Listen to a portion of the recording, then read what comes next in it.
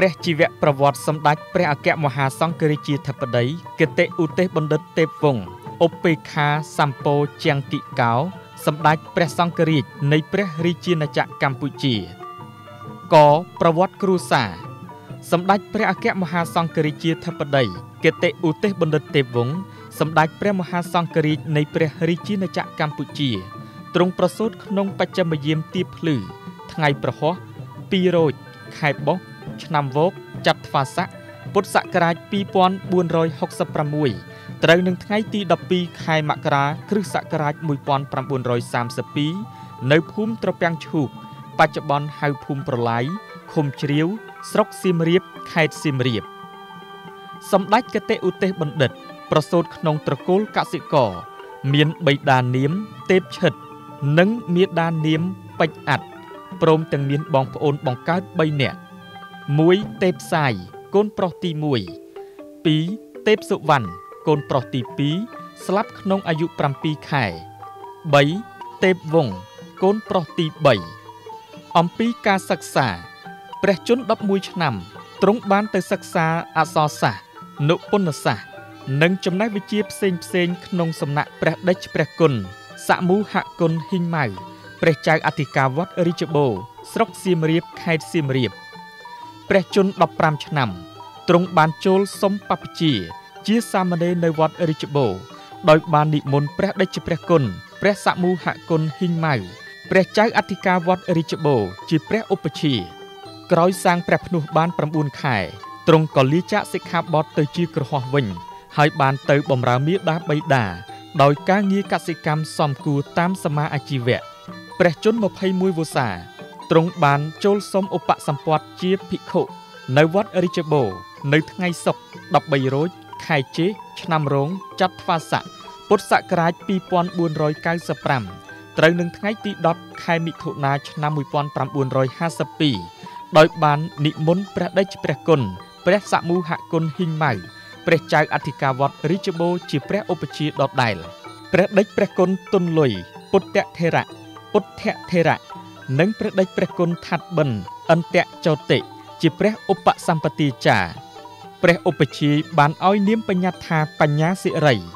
ក្រោយឧបសម្បទាជាភិក្ខុរួចទ្រង់បាននៅសិក្សាព្រះបរិយត្តិធម៌ក្នុងសំណាក់ព្រះដេចព្រះគុណព្រះសមូហគុណហ៊ីងម៉ៅព្រះចៅអធិការវត្តរាជបូរជាព្រះឧបជាអស់មួយរយៈកាលទៀតបន្ទាប់មកទ្រង់បានថ្វាយបង្គំលាព្រះឧបជា និងនិមន្តពីវត្តរាជបូរខេត្តសៀមរាប ចូលមកស្នាក់អាស្រ័យនៅវត្តសារវ័នដេជោសង្កាត់លេខ3ក្រុងភ្នំពេញ ក្នុងសម័យកាលព្រះដេចព្រះគុណធម្មខុសាចារអិតតប់ជាព្រះចៅអធិការវត្តសារវ័នដេជោនិងបានសិក្សាព្រះបរិយត្តិធម៌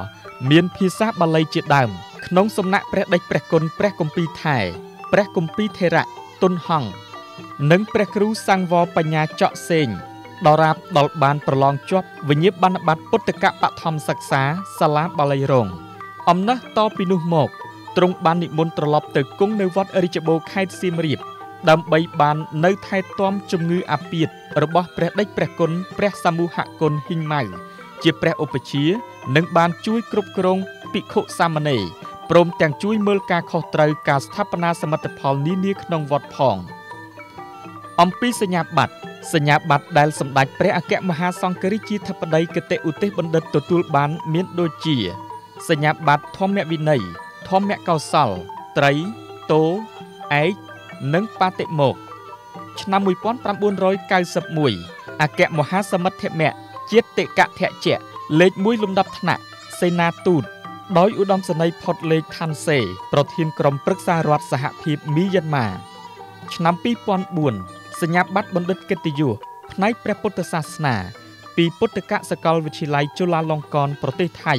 ទទួលស្គាល់ពីស្នាព្រះហស្ថក្នុងការស្ដារព្រះពុទ្ធសាសនានៅកម្ពុជាឡើងវិញ បន្ទាប់ពីសម័យខ្មែរក្រហម ថ្ងៃទី8ខែកញ្ញាឆ្នាំ2008សញ្ញាបត្របណ្ឌិតកិត្តិយសផ្នែកព្រះពុទ្ធសាសនានៅកម្ពុជា ឆ្នាំ2013រាជបណ្ឌិតសភាកម្ពុជាបានថ្វាយក្រមងារគតិឧទេសបណ្ឌិត និងសញ្ញាបត្រគតិបណ្ឌិត នៃរាជបណ្ឌិតសភាកម្ពុជា អំពីក្រមងារនិងសាមណស័ក្តិក្រោយពីរបបកម្ពុជាប្រជាធិបតេយ្យខ្មែរក្រហមដួលរលំទាំងស្រុងនៅថ្ងៃទី7ខែមករាឆ្នាំ1979ព្រះពុទ្ធសាសនាក៏បានចាប់ផ្ដើមរស់រានមានជីវិតសាជាថ្មីម្ដងទៀតឆ្នាំ1979បណ្ឌិតទេពវង្សត្រូវបានក្រុមប្រឹក្សាជាតិរណសេរសាមគ្គីសង្គ្រោះជាតិកម្ពុជា សម្រាប់ជ្រើសរើសជាឧបសម្បទាបេក្ខៈមួយរូបឲ្យចូលសាងព្រះភ្នោះឧបសម្បទាជាភិក្ខុភិវៈលើកទី2នៅវត្តឧណាឡោមក្រុងភ្នំពេញ ហើយទទួលបាននាមបញ្ញត្តិថ្មីថាឧបេខាសម្ពោជាងគិកោនិងជាប្រធានសង្ឃទូទាំងប្រទេសឆ្នាំ1981ព្រះដេចព្រះគុណព្រះវិន័យធរទេពវង្ស មានព្រះទូនាទីក្នុងគណៈអចិន្ត្រៃយ៍នៃរដ្ឋសភាក្នុងរបបសាធារណរដ្ឋប្រជាមានិតកម្ពុជា ឆ្នាំ1991តាមសំណើរបស់ឯកឧត្តមជាស៊ីមប្រធានគណៈបកប្រជាជនកម្ពុជា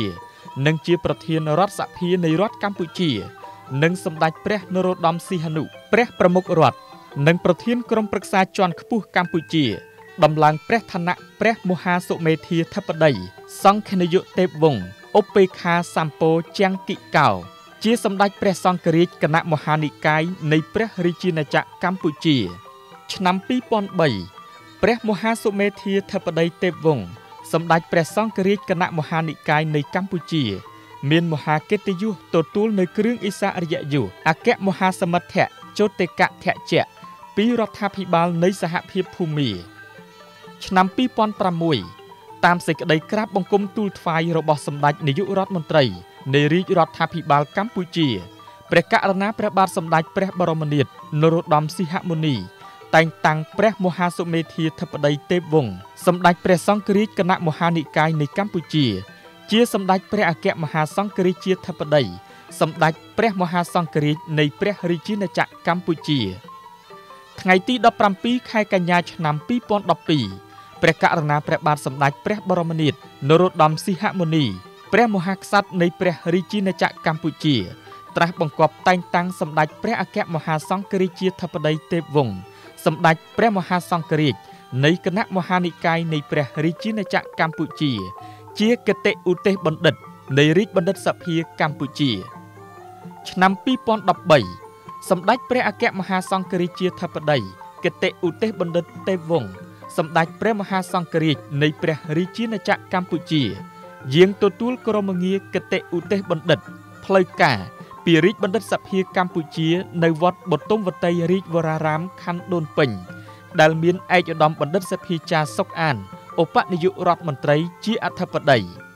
អំពីសមិទ្ធផលសាសនានិងសង្គមជាតិចាប់តាំងពីឆ្នាំ1979មកសម្ដេចព្រះអគ្គមហាសង្ឃរាជាធិបតីគតិឧទេសបណ្ឌិត បានបំពេញកាតព្វកិច្ចក្នុងព្រះពុទ្ធសាសនាដូចជា